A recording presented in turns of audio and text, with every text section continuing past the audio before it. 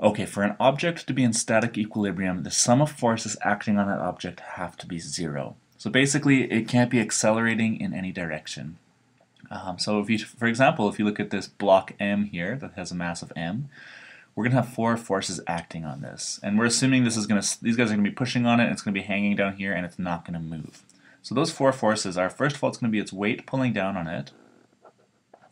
Uh, this is weight, and we call that its mass times g, acceleration due to gravity.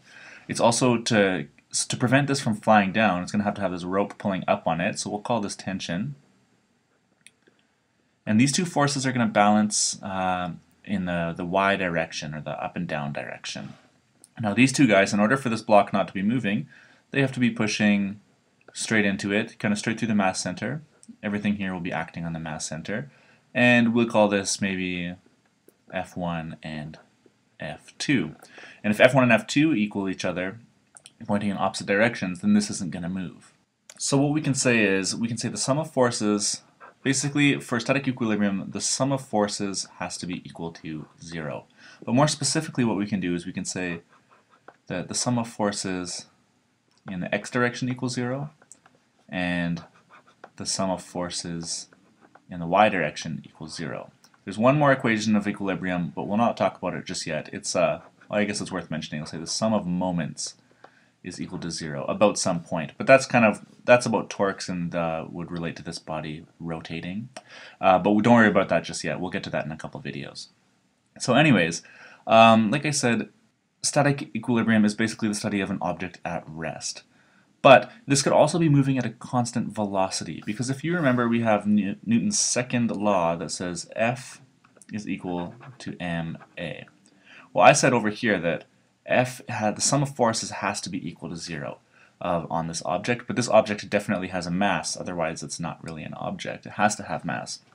So in other words if the mass can't be zero then in order for the sum of forces to be zero then the acceleration has to be zero. But if acceleration is zero, that means this object is either at rest or this object is moving at a constant velocity and not changing direction. Uh, for example, what if we um, what if we did this? Here, we'll, we'll draw some more lines like this. We'll put them in a box. Okay, bear with me for one second. And then maybe we'll go like this. Alright, maybe see where this is going now. Put some wheels on this. Now we're going to say these guys are in the back of a truck. And uh, maybe maybe give the driver, maybe give the truck a driver, a steering wheel. Anyways, so now this truck, we'll say, has uh, some velocity is equal to v. Uh, now as long as this truck is going in a straight line, and not turning, not accelerating, you could see that this, you know, based on your own personal life, that this would still work. You know, if you're sitting in a car, it's not like if you hold something in your hand, it's going to fly out of your hand. But if this truck slams on its brakes and it decelerates, or it accelerates in the in the leftward direction because it's decelerating, uh, then obviously these guys are going to start flying all over the place, and the system will not be in static equilibrium anymore which is what we'll talk about when we start studying dynamics. But for now, this whole, this whole subject that we're looking at is statics, so we will be studying objects in static equilibrium, where the sum of forces will equal zero.